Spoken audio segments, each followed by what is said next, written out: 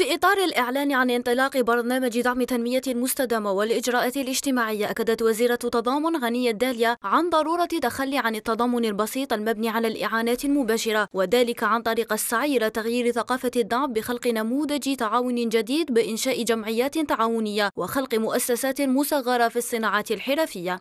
إحنا في الوزارة نسعى إلى تغيير نظرة التضامن ولا ثقافة التضامن؟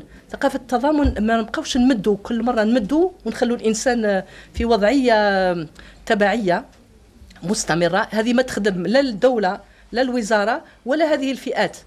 للحفاظ على كرامة هذه الفئات آه، نسعى إلى تغيير ثقافة التضامن توجيه الدعم توجيه كما تكلمنا على توجيه التكوين توجيه المرافقة آه، وتوجيه المساعدات. لكن نسعى آه، إلى أن تكون هذه المساعدات ظرفية نسمح من خلالها انتقال هذه الفئات من التبعية المطلقة إلى الاستقلالية وإلى الإمكانية لما لا خلق نشاطات مدرة للربح وللاستقلالية الاقتصادية.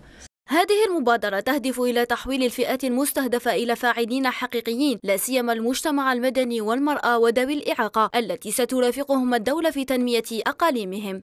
لهذا لابد أن لا نغفل أن هناك آه، فئات لا زالت تنشط في هذا الإطار.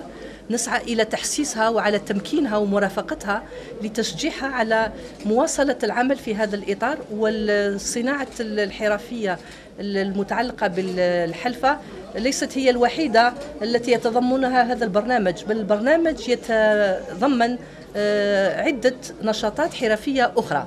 تغيير نمط الدعم الذي تقدمه وزارة التضامن ضروري في المرحلة الراهنة خاصة مع الأزمة المالية التي تمر بها البلاد. سيما وأن النمط التقليدي للدعم أثبت محدوديته في إخراج المستفيدين من دائرة الفقر.